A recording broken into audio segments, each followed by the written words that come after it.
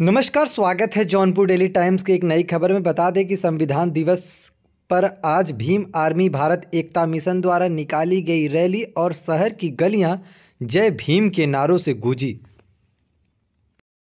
किस लिए रैली निकाले हैं आप लोग?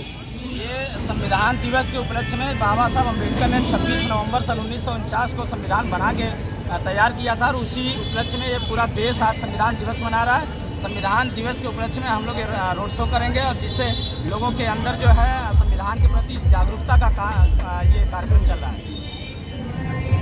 ये रैली कहाँ से कहाँ तक निकाली जा रही है? ये रैली अंबेडकर तिराहा जौनपुर अंबेडकर तिराहा दीवानी आने के बगल से होते हुए लाइन बाज़ार थाना होते हुए बाजीपुर तिराहा पॉलिटेक्निक चौराहा और कोतवाली होते हुए संभावना पुल से वापस समापन यहीं पर इसी कार्यक्रम स्थल पर किया जाएगा।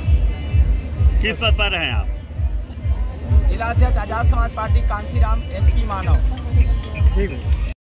बंधु को आज छब्बीस जनवरी छब्बीस नवंबर संविधान दिवस के उपलक्ष्य में आप लोग को जो उपस्थित है इसके लिए हम आप लोग धन्यवाद करते हैं। मैं डॉक्टर ए के गौतम भीम आर्मी मंडल संयोजक वाराणसी। ये रैली कहाँ से निकली है? कहाँ तक जाएगी? तो रैली अंबेडकर तिराहे से होकर वाजीपुर तिराहा पाटिंग चौराहा वलनगंज होते हुए कोतवाली कोतवाली से।